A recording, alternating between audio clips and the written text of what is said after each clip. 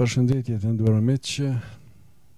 Isha duke lexuar një shkrim që më duk interesant dhe deshta që ta ndaj me ju.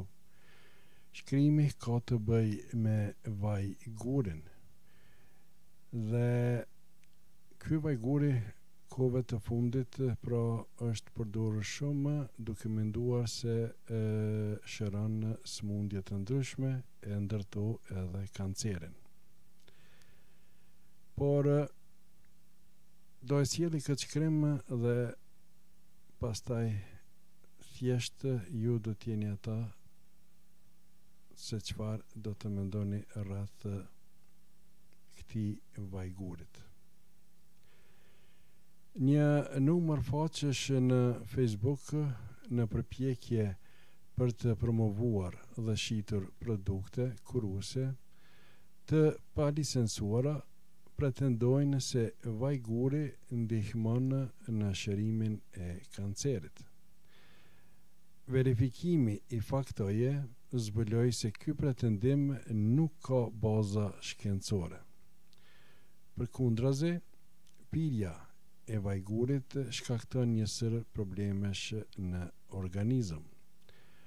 Faqe në Facebook kanë postuar reklama për një produkt çudibërës që pretendohet se ndihmon ndër të tjera për të luftuar kancerin.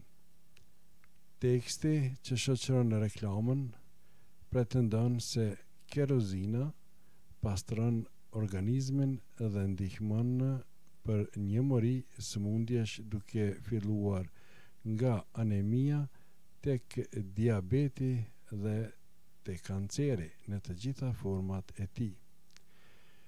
Reklama hedh një rrjet të gjerë për të kapur sa më shumë klientë për të maksimizuar fitimin, produkti gjithashtu këshillohet të merret derisa problemi të zgjidhet. Mirëpo mund të merret edhe si preventiv. Ç'është edhe më alarmuese është paralajmërimi, Kerozina plus kimoterapia ky kombinim nuk rekomandohet. Kështu blerësve të produktit iu këshillohet të ndalojnë kimoterapinë.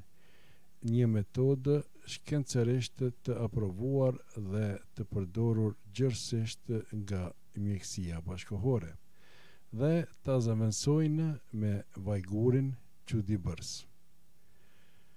Nuk shpjegohet se si vajguri apo kerozina që shërben për dekontaminimin e trupit lufton qelizat kanceroze, tumoret apo metastazat, Reklama nuk citon asnjë literaturë shkencore apo studim.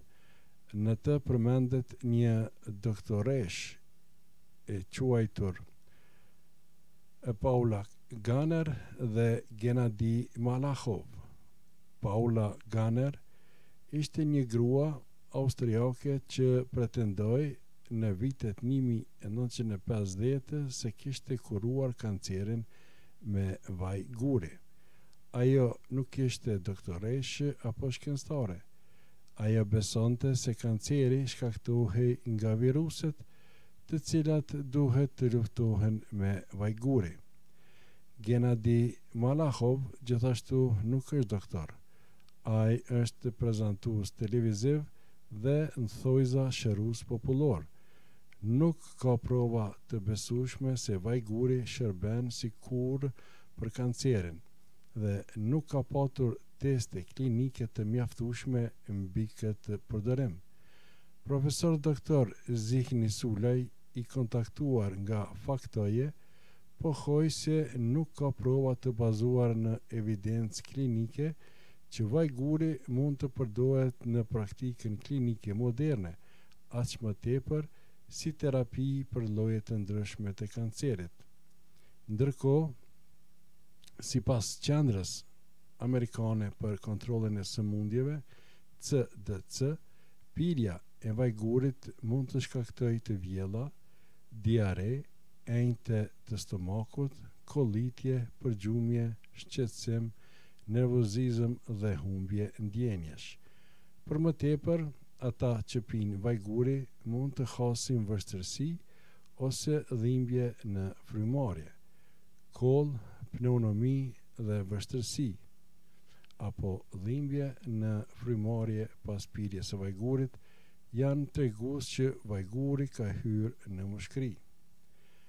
Për më tepër, pirja e sasive të mëdha të vajgurit mund të shkaktojë koma.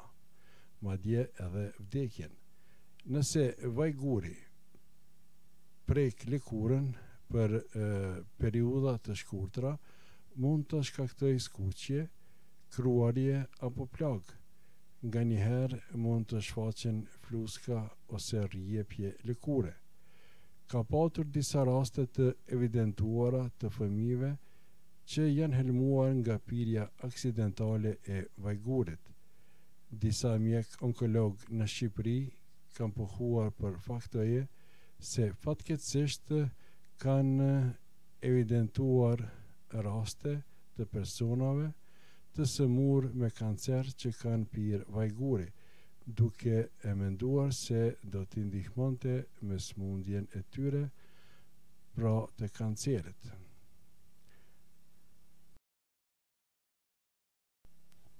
Nuk ka asnjë bazë shkencore ose mjekësore që të mbështesë përdorimin e vajgurit për trajtimin e kancerit në mjekësinë konvencionale ose në spitale. Metodat e trajtimit të kancerit që janë të njohura dhe të pranuara gjerësisht nga komuniteti mjekësor përfshijnë.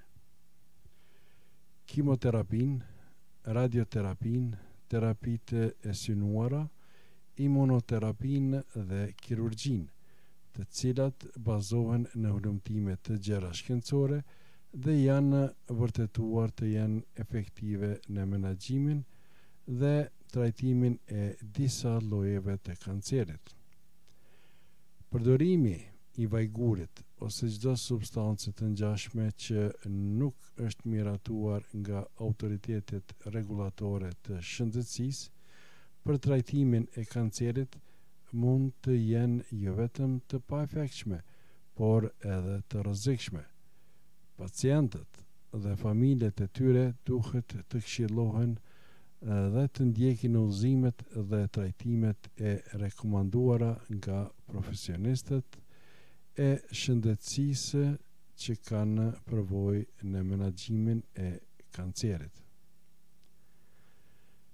Nëse ka pretendime për përdorime alternative të vajgurit ose çdo trajtim tjetër jo tradicional, është thelbësore që të bëhet verifikimi i tyre me kujdes dhe të konsultohen burime të besueshme mjekësore para se të merren parasysh si opsione trajtimi. Ju përshëndes dhe një ditë të mbarë.